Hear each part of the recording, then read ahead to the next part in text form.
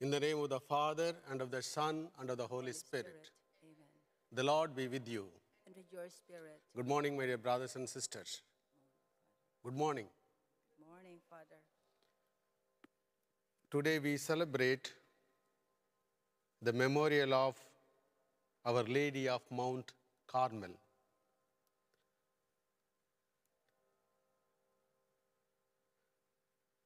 This happens during the time of Elijah and Elisha. His disciples living an ascetic life near a mountain near Galilee, which is called now Mount Carmel. And finally, when the apostles preach, they become the fri- they are called or they become the friars of Mount Carmel. So that is how the feast of the Mount Carmel comes to be celebrated. And we know all over the world there are so many Carmelites. Today we see about 1,950 Carmelite religious people, priests and nuns. Even today we have lay Carmelites. In this Holy Eucharistic celebration, let us pray for all these people, the Carmelites, so that they may follow the footsteps of Mother Mary, living like ascetics, a humble life, praying for the world. And today's Holy Mass is being offered for the intentions of Jade Torres, Maryann E. Ramirez, Stephanie Johnson. Also, this Holy Mass is being offered for the repose of the souls of Lina Pastrana, Angelita C. Litatico, and for the repose of the soul of Adela Mendoza, mother of Minnie. Today they remember the 18th death anniversary. Let us pray for all these departed souls, that the good Lord Jesus may forgive the sins of all these souls and grant eternal rest. Also, let us offer this Mass for all those intentions that the good Lord Jesus may respond positively and grant their petitions. Now, let us examine our conscience and ask His pardon for all the sins we have committed. I confess to Almighty God And to and to you, you, my brothers and sisters, that I have greatly sinned in my thoughts, in my words, in what I have done, and in what I have failed to do, through my fault, through my fault, through my most grievous fault. Therefore, I ask Blessed Mary, our Virgin, all the angels and saints, and you, my brothers and sisters, to pray for me to the Lord our God. May Almighty God have mercy on us, forgive us our sins, and bring us to life everlasting. Amen. Let us pray. May the venerable intercession of the glorious Virgin Mary come to our aid, we pray, O Lord, so that, fortified by her protection, we may reach the mountain which is Christ, who lives and reigns with you in the unity of the Holy Spirit, one God, forever and ever. Please be seated.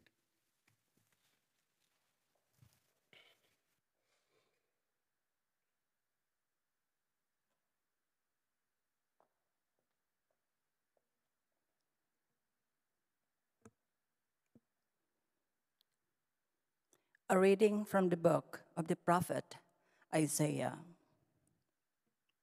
The way of the just is smooth, the path of the just you make level. Yes, for your way and your judgment, O Lord, we look to you. Your name and your title are the desire of our souls. My soul yearns for you in the night. Yes, my spirit within me keeps me vigil for you. When your judgment dawns upon the earth, the world's inhabitants learn justice.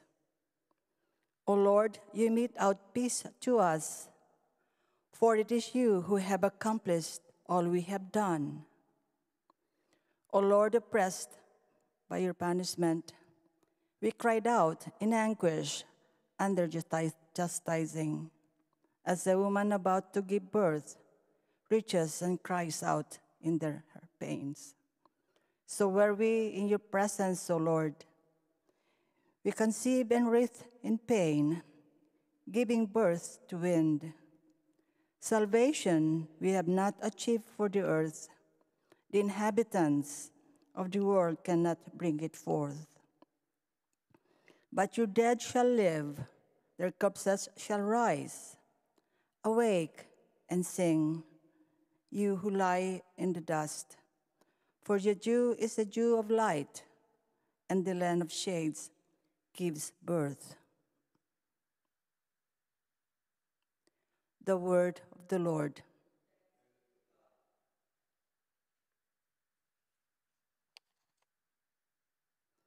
From heaven, the Lord looks down unto earth. You, O Lord, abide forever, and your name through all generations. You will arise and have mercy on Zion, for it is time to pity her. For stones are dear to your servants, and our dust moves them to pity. The nations that revere your name, O Lord, and all the kings of the earth your glory. When the Lord has revealed Zion and appeared in his glory, when he has regarded the prayer of the destitute and not despised their prayer. Let this be written for the generation to come, and let his future creatures praise the Lord. The Lord looked down from his holy height. From heaven, he beheld the earth to hear the groaning of the prisoners and release those doomed to die. Alleluia, Alleluia, Alleluia. Come to me, all you who labor and are burdened, and I will give you rest, says the Lord. Alleluia, Alleluia, Alleluia.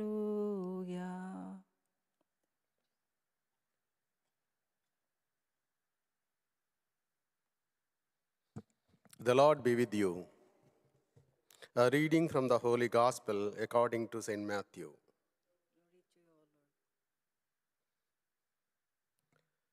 Jesus said, Come to me, all you who labor and are burdened, and I will give you rest. Take my yoke upon you and learn from me, for I am meek and humble of heart and you will find rest for yourselves. For my yoke is easy and my burden light. The Gospel of the Lord. Praise to you, Lord Jesus Christ.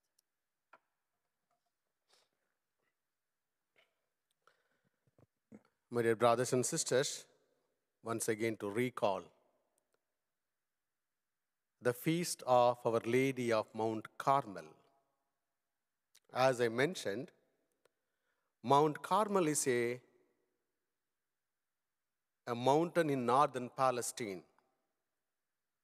In the scripture, if we read 1 Kings chapter 18, describes how the prophet Elijah's prayer on Mount Carmel for rain was answered and how he defeated the 450 pagan priests of Baal on the same mountain. Elijah challenged them to bring fire from heaven to burn the sacrificed bulls placed on the altar. And he proved that only Yahweh was the true God. According to the most ancient Carmelite chronicles, the order had its origins with the disciples of the prophets Elijah and Elisha on Mount Carmel. They lived very ascetic lives in caves on Mount Carmel, honoring the Holy Virgin of the messianic prophecies, who would give birth to the promised Messiah. When the apostles started preaching Jesus, the pious ascetics of Carmel accepted the Christian faith. The people began to call them friars of the Blessed Virgin Mary of Mount Carmel. Pope Honorius III approved the order's rule in 1232. The feast of Our Lady of Carmel was instituted first for the Carmelites in the year 1332 to commemorate the 100th century anniversary of the approval of the rule of the Carmelite order. The order of Discalced Carmelites of the Blessed Virgin Mary of Mount Carmel resulted from 16th century reforms of the Carmelites by Saint Teresa of Avila and St. John of the Cross. And we see the Carmelites wearing the brown color habit or brown scapular. Our Lady of Mount Carmel promised to Simon Stock on July 16th, that is today in the year 1251, and gave him the, gave him the brown scapular with the following words This will be for you and for all Carmelites the privilege that he who dies in this will not suffer eternal life. Even today, millions of people believe in this scapular. They always wear the brown scapular around their necks, having faith in the words of Mother Mary that if they die wearing this brown scapular, they will not suffer the eternal life. I remember my father always used to wear that brown scapular. I was just a small boy, I didn't understand that time. But later I understood why my father always wanted to wear that brown scapular. Mary promised her protection to all who would wear the blessed habit and lead a life of prayer and sacrifice. In the year 1914, Pope St. Pius X declared that the common people could have the same blessings if they would wear the metal scapular medal carrying the picture of Our Lady of the Scapular on one side and the Sacred Heart on the other. So, the feast of Our Lady of Marvel, Mount Carmel challenges us both to imitate the simple and ascetic life of the Blessed Virgin Mary with her trusting faith in God and her humility. Today, especially pray for those people, all the Carmelites, not only the religious, but lay Carmelite who follow the footpath of our mother Mary. And my dear brothers and sisters, today if we read the gospel, it has only two verses.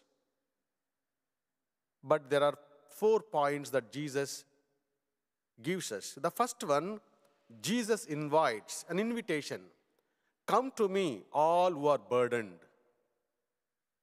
This is one of the most comfortable biblical verse, comforting biblical verse, which involves a loving invitation of the Lord.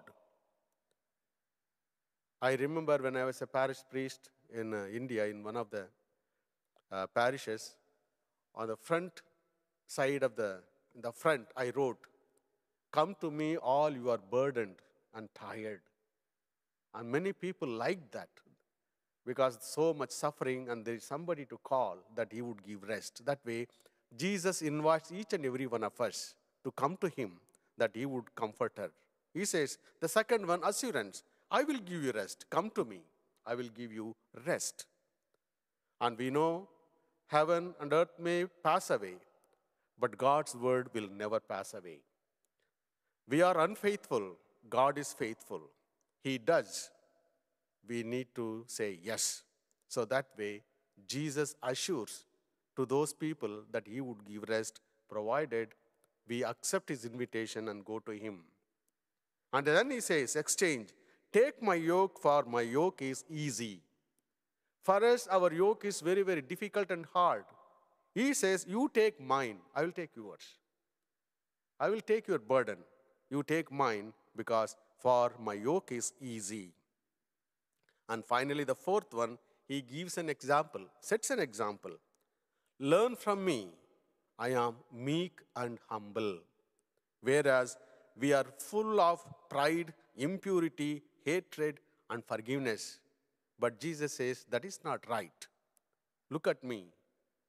I am not like you. I don't have pride.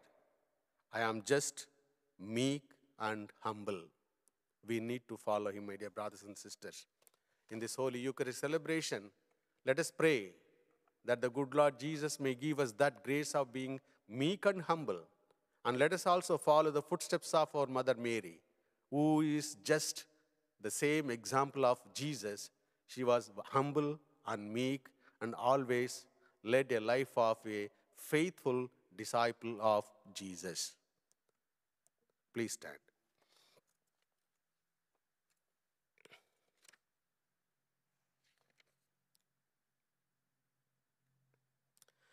The Lord calls us to Him, and so we bring Him our burdens, needs, and petitions in prayer. For the church, may the Lord, in His abundant goodness, continue to nourish her through the gifts and fruits of the Spirit. Let us pray to the Lord. Lord, hear our prayer. For our world, may God bring peace to every nation, every home, and every heart. Let us pray to the Lord. Lord, hear our prayer. For all those whose burdens seem too heavy to carry, may the Lord bring them hope, consolation, and rest. Let us pray to the Lord. Lord, hear our prayer.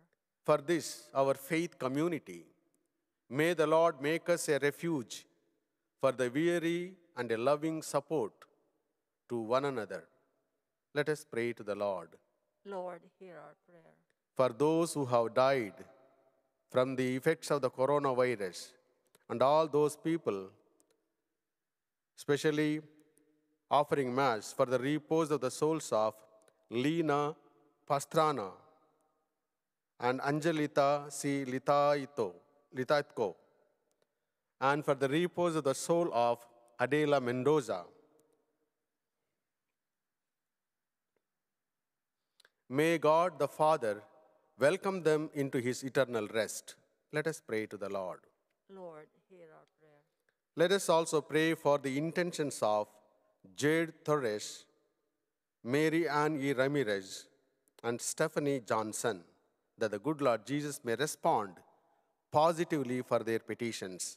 Let us pray to the Lord. Lord, hear our prayer. In silence, let us pray for our personal intentions.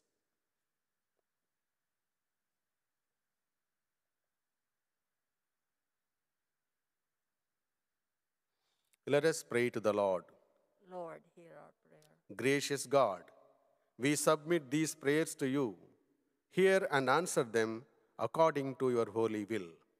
We ask this through Christ our Lord. Amen.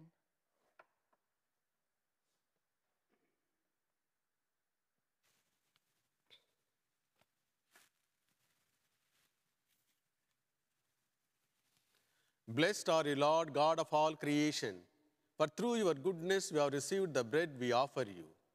Fruit of the earth and work of human hands, it will become for us the bread of life.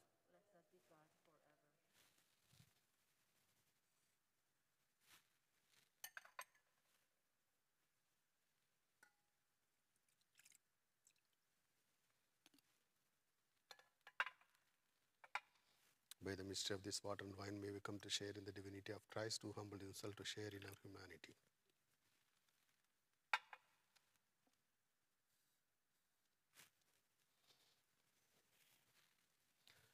Blessed are you, Lord, God of all creation, for through your goodness we have received the wine we offer you. Fruit of the vine and work of human hands, it will become our spiritual drink. Lord God, we ask you to receive us and be pleased with the sacrifice we offer you with humble and contrite heart. Lord, wash away my iniquity and cleanse me from my sins.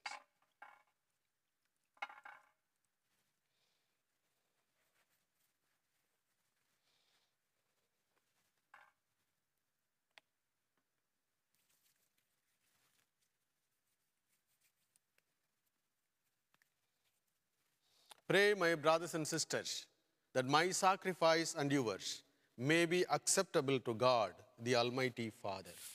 May the Lord accept the sacrifice of your hands for the praise and glory of his name, for good and good of his holy church.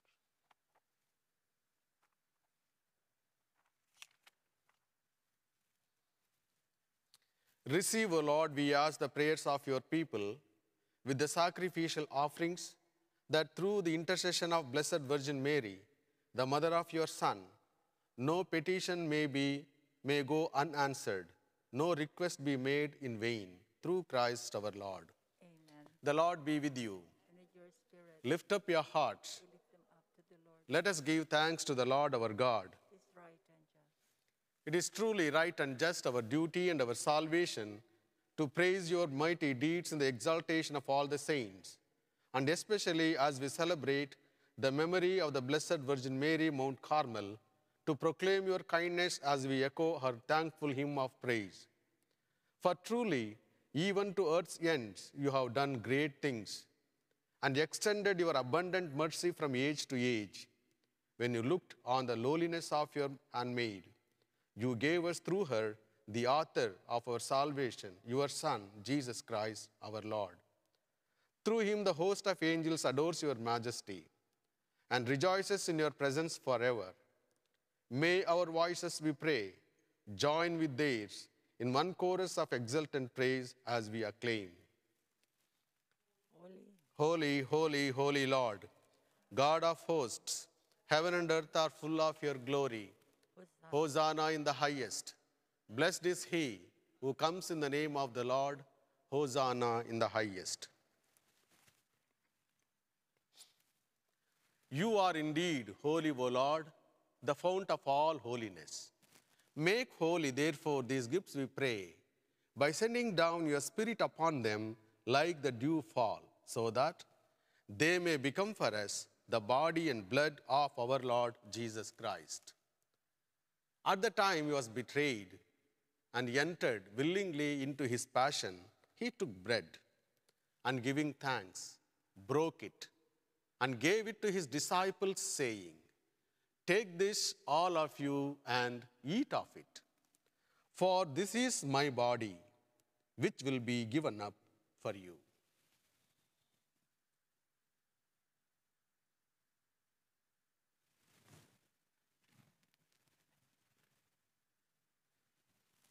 In a similar way, when supper was ended, he took the chalice and once more giving thanks, gave it to his disciples, saying, Take this, all of you, and drink from it. For this is the chalice of my blood, the blood of the new and eternal covenant, which will be poured out for you and for many for the forgiveness of sins. Do this in memory of me.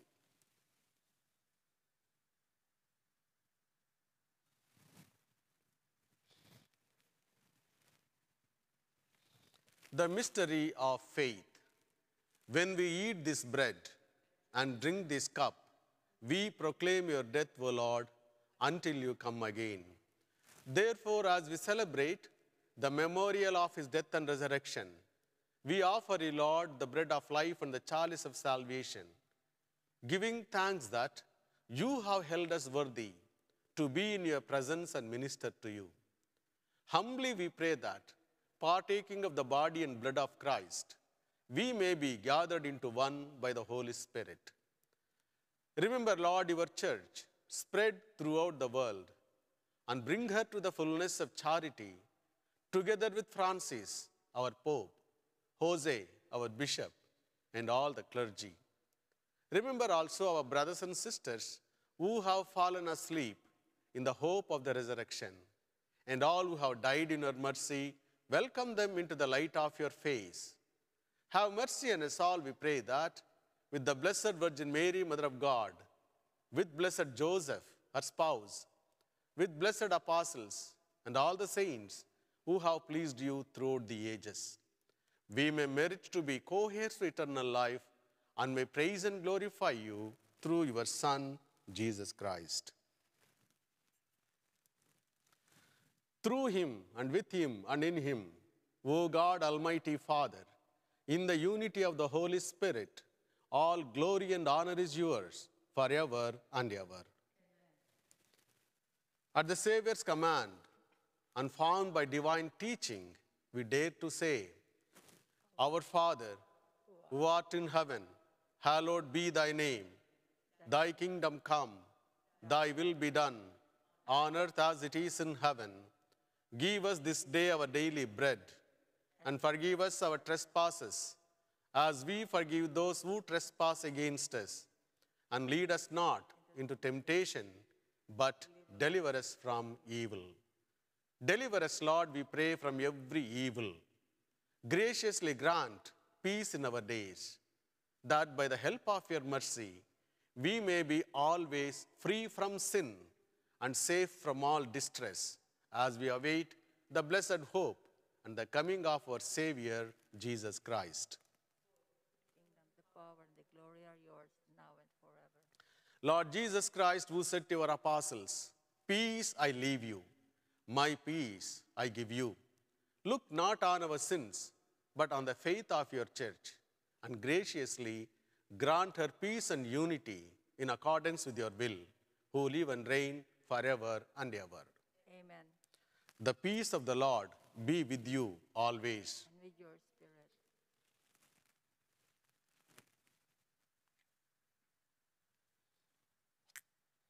May this mingling with the body and blood of our Lord Jesus Christ bring eternal life to us who receive it. Lamb of God, you take away the sins of the world. Have mercy on us. Lamb of God, you take away the sins of the world. Have mercy on us. Lamb of God, you take away the sins of the world. Grant us peace.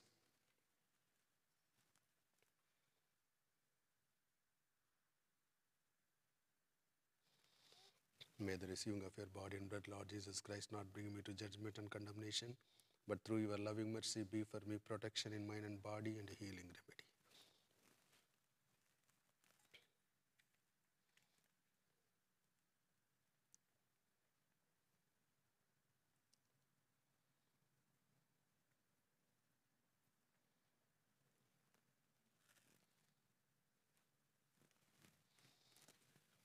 Behold the Lamb of God, behold him who takes away the sins of the world.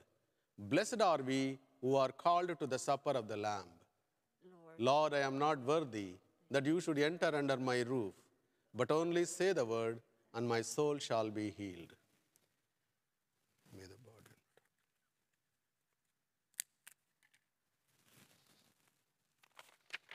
Now, my dear brothers and sisters, let us all together pray the prayer of spiritual communion by Saint Alphonsus Liguori. My Jesus, I believe that you are present in the most holy sacrament. I I love you above all things, and I desire to receive you into my soul. Since I cannot at this moment receive you sacramentally, come at least spiritually into my heart. I embrace you as if you were already there and unite myself wholly to you. Never permit me to be separated from you. Amen.